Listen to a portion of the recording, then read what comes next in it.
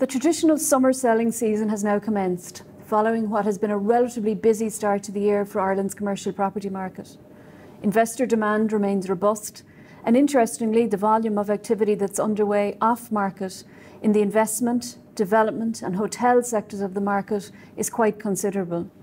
With some sizable assets on the market at the moment, and others due to be released for sale over the coming months, these sectors in particular are on track to record impressive transaction volumes in 2019.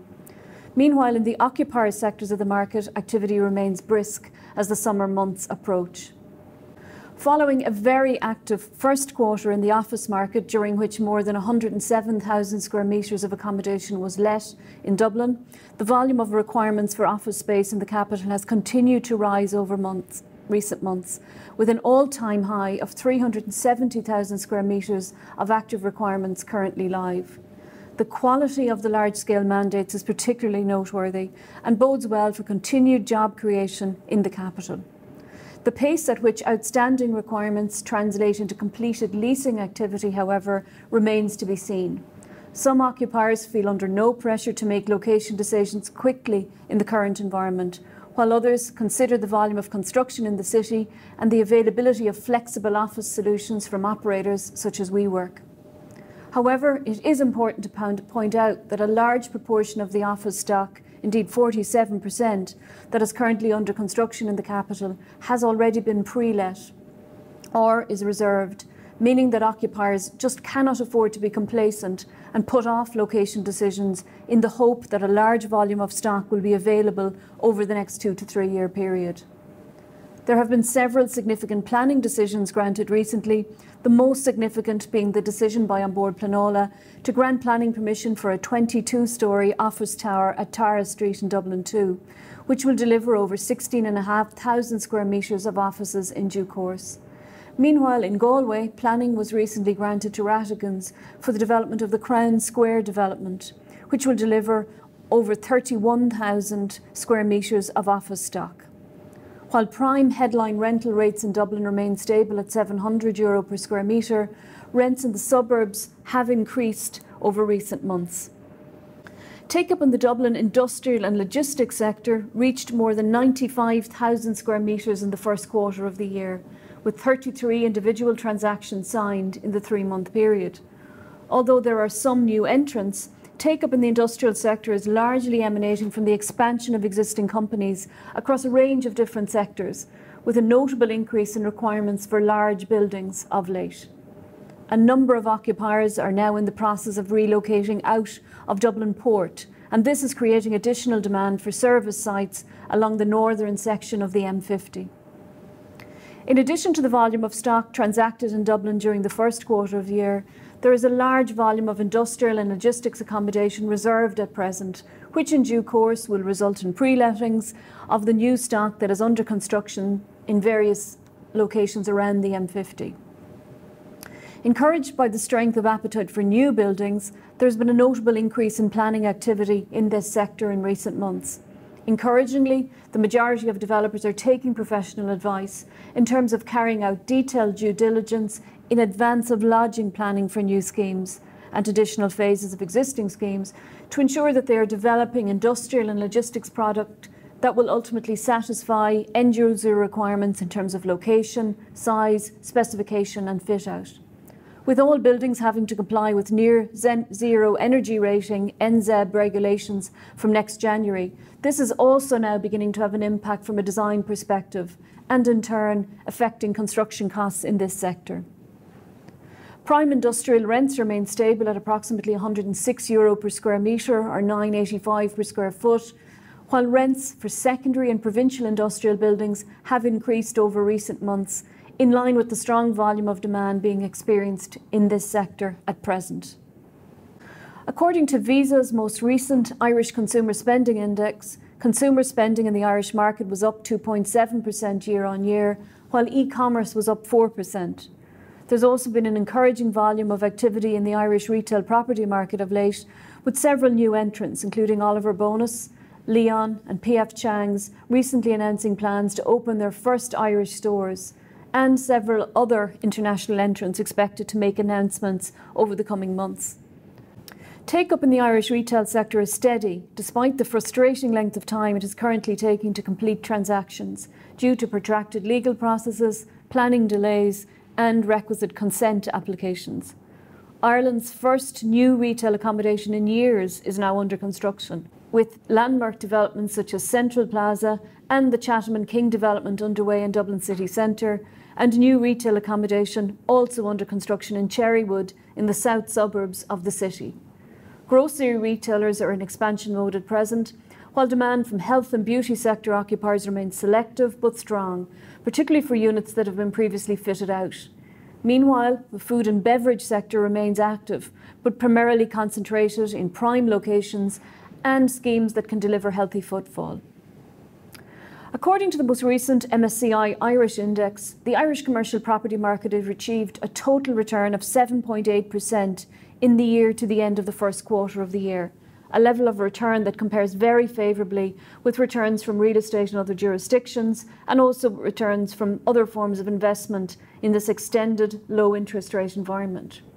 Transactional activity in the Irish investment market has also continued at pace over recent months, buoyed by strong occupier market activity. Following the completion of almost 600 million of investment transactions in the first three months of 2019, a number of high profile assets are currently being marketed, both on and off market, including several office buildings and build to rent opportunities. For example, the Grade A Bishop Square office building in Dublin 2, which is mainly let to government tenants and which has recently been extended and refurbished by Hines, is currently being marketed, guiding 180 million euro.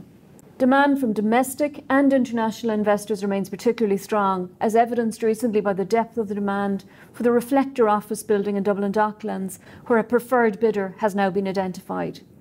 Yields for shopping centres and secondary retail warehouses have softened further over recent months, mirroring a trend that has been experienced in the UK and across Europe at present. Meanwhile, prime office, industrial, and indeed multi-family yields in the Irish market remain stable, but have potential to harden a little further over the coming months as new transactional evidence materialises. A busy summer season is now in prospect, with good visibility on product due to be launched over the coming weeks and months. Recent news that Green REIT plc have decided to initiate a sales process for the company or the entire portfolio of prime assets will result in additional demand and attention being focused on the Irish commercial real estate market over the coming months. The build to rent sector, while clearly not the panacea to Ireland's housing crisis, nevertheless has a meaningful role to play in helping to address the country's housing supply demand imbalance by providing much needed rental accommodation and associated amenities. The sector has been receiving a lot of focus in recent months as the sheer scale of appetite for this form of investment from investors and renters alike has been increasingly tangible. Having accounted for almost 30% of overall investment spend last year, this sector is now on target to again account for a sizable proportion of total investment in Irish real estate in 2019. Our latest research shows that as much as 6.3 billion euro is actively targeting the build to rent sector in Ireland, up from 5.3 billion this time last year, with over 30% of this capital emanating from the US, 24% from Europe, 22% being domestic and 12% coming from Canada. In addition to much publicised demand for build to rent opportunities in the Dublin market, there's also strong demand for purpose built student accommodation in Dublin, Cork, and Galway, although investment opportunities in this particular specialist sector are few and far between. There's been quite a bit of activity from a planning perspective over recent months, although it remains to be seen how much of this residential stock will get delivered in the short to medium term, particularly considering the impact of construction cost inflation on deliverability. In one of the more noteworthy announcements, planning was recently granted for up to 3,500 residential units at the former glass bottle site in Poolbeg. There is a stipulation in the planning permission granted for this site that no more than 100 to 150 units in any apartment block within the scheme can be designated as PRS or build to rent, while 25% of units will comprise social and affordable units. The Irish market has yet to see a grant of planning for a shared living, co living concept being granted, although several promoters are in discussions with planners on this, and we expect to see some further applications being lodged, particularly in the postcodes of Dublin 6, 8, 7 and 8 in due course. The Irish Government recently announced plans to extend the duration of rent pressure zones. As a result, these zones, where residential rent increases are restricted to 4% per annum, will now remain in place until the end of 2021 at least. A new residential tenancies bill, which will, among other elements, provide greater protection to tenants, is also due to be enacted later this year, while restrictions on Airbnb are due to come into force from July 2019. All elements that those operating and investing in this specialist sector of the market need to be mindful of.